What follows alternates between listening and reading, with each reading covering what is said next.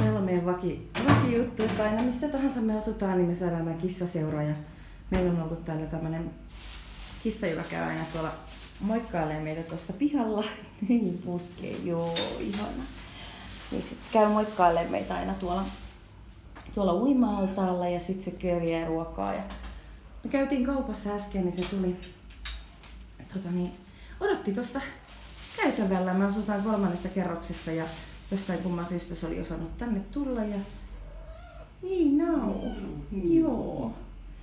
Et se on vähän niin kuin meidän Nero, joka löysi aikanaan meidät sitten, sitten tota niin, oli, oli katukissa ja lopulta keksi, missä me asutaan ja ilmaantui meidän pihaan. Niin tämä on nyt niin kuin sit samanlainen. Eli hän on nyt sitten odotti meitä käytävällä täällä kolmannessa kerroksessa ja, ja sitten kipitti oven taakse sen näköisen, että mennäänkö kotiin, että voitteko te aukaista nyt oven.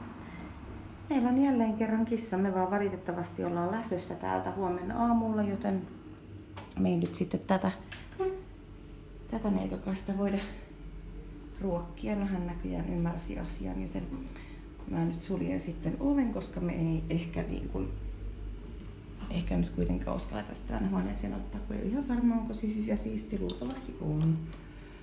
Mutta näin jälleen kerran meillä on kissa seuraa meitä, jostakin syystä juuri meitä aina nämä kaikki kissat seuraavat kaikkialla maailmassa ja kaikissa hotelleissa meillä aina on joku oma kissa, vaikka yritettäisiin vältelläkin. Ja nyt ei olla viitetty edes rapsutella tota ihan sen takia, että nyt sitten ainakaan viedä Nerolle kotiin mitään, mitään tauteja, niin ei, ei ole viitetty, vaikka mä ennen aina paijasin kaikkia kissoja pitkin katuja, mutta